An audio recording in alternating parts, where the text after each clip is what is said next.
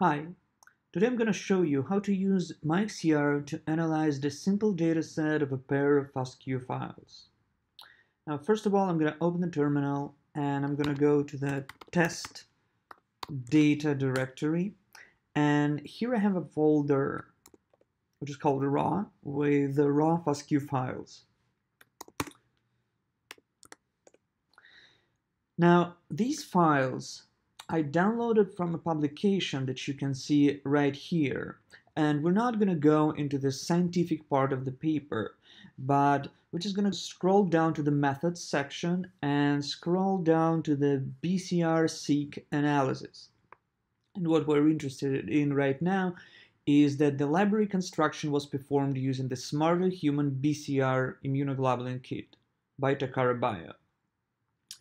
Now, that is all we need to know before we proceed to the analysis. Now, knowing the name of the kit, I'm going to go to the mixcr.com and I'm going to go to the section with docs built-in presets.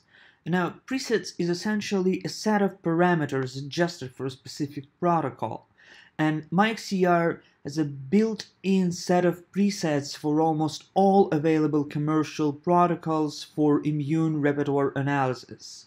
And we're just gonna go to the Takara Bio right here, and here we go. We're gonna scroll down a little bit to this specific kit, and you see that's the one that has been used for the data from the publication. Now, here's the short description of the preset. Here you can see a nice scheme of the cDNA library, which explains its structure. We see the length of the UMI region, the length of the C gene specific primer that we're going to trim. And up here, we can see two preset names that we can use for analyzing the data. Now, if you follow the manufacturer's recommendations for sequencing, and for this specific protocol, it is recommended to sequence it using 300 base paired, paired end. Then your reads should cover the full length of the receptor and you can use the full VDJ region to assemble the clones. That's why we're gonna use that standard preset as the data was obtained in a common way. And I'm just gonna copy this preset and we can close that right now and just go to the terminal. And I'm going to type a simple simple command here which is first um, MiXCR software which is the folder where I have my MiXCR installed. And I'm going to go analyze. I'm going to paste the preset and provide the name of the input input files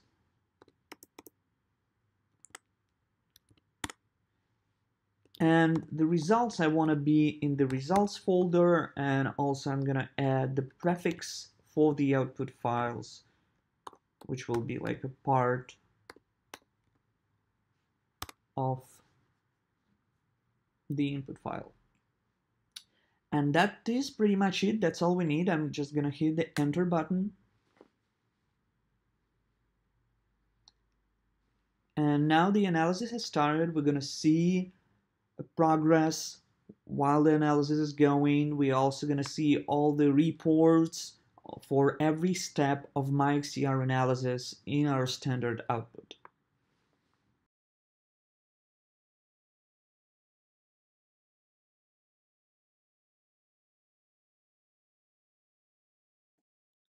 Now the analysis is complete and we can go into the results directory and see what the output files are.